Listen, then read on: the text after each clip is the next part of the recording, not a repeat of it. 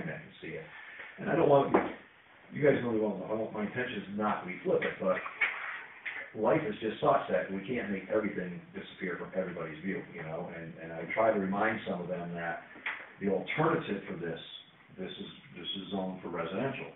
You know, the alternative would, and it's not gonna be five hundred thousand dollar, you know, McMansions that are ever gonna go in here. If anything's gonna go in here, it's gonna be more of this modular home style. And I'm not faulting that, but I'm also, you know, trying to remind some of these owners that fifty small modulars bring a lot of inherent things that this doesn't bring, like, you know, all of them buying their kids four-wheelers when they only got a, an eight, they only got a quarter acre lot, but they buy their kid a four-wheeler thinking that he can use everybody else's property to run around on. Or dogs, or noise, or, so, you know, there's not a lot of other really better alternatives. And, you know, again, obviously, we take our criticisms that it's not gonna do anything but like six jobs. Uh, but, you know, the economics on this right now is such that this property here pays, um, right now, current, pay, with the ag value on it, pays a thousand and ninety dollars, I think, or one thousand one hundred and ninety dollars this year, all, school, county, town, solar project. And if you took that and figured five percent a year over twenty-five years, the total tax income off this, for a property tax perspective, will be fifty-six thousand and change. This alternatively will, right now, the pro forma shows for it to pay fifty thousand the first year, and over the twenty-five years, we'll pay two point six million. So, no kids in school, no strain on the infrastructure.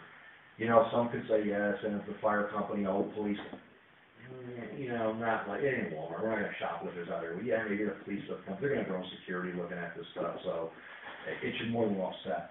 Um, and so that's where we're at, we're, we're starting to see here now, we've really kind of answered all four of the issues. Uh, I'm pretty pleased when the solar guys first came to me, and they, they had, and I wanna tell you, they had the map, they identified the property. We didn't, you know, that, that should be very clear. Just that they're, uh, Yeah, here's where the problem lies.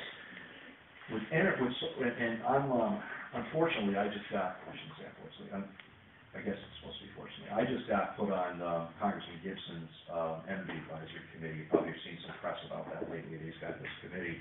And I was asked to join because of my common sense, pragmatic sense.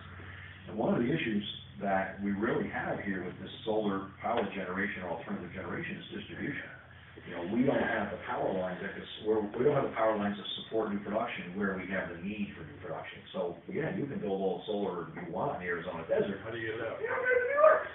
So, and then what other people don't realize too, and, and we're trying to educate people on this, they're like, well, you should go over there like in a Fernley and put it up in those big power lines. Well, You can't, you know, and, and it's, and that would be, you know, if, if, it's, that would be like trying to spit into a, you know, a, a sewer main versus a straw. I mean, it's, it's an inversion to get, you could get it up there, but by the end of the day, this, this, this whole field might be down to producing one little jolt by the time you beefed it, beefed it, you know, inverted it, inverted it, inverted it.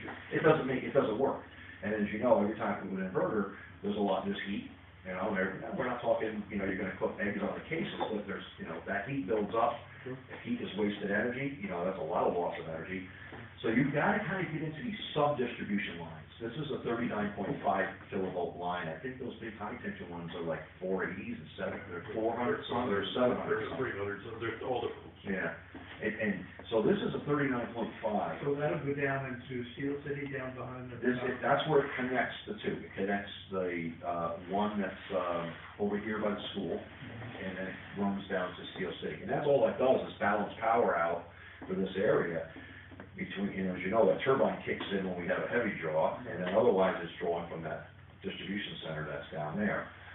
Um, there's only two spots in the county where there's a line like this. This one here, that runs from Athens to here, and as you get further south, it gets real wet, you want more wetlands.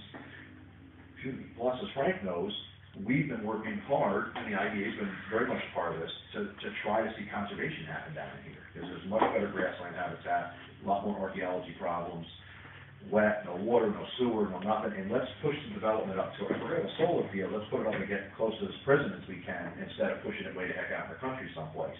So there really wasn't any, and, and quite honestly, with, the- with the wetlands and stuff, there really wasn't any other good spot between here and the bottom on this line. The only other one exists is on, um, um, Lasher's Chicken Farm, and, and up in Oh, yeah. And if you notice, right there by their place is a substation, and if Yeah, you look, it right. goes, it goes right up over the mountains.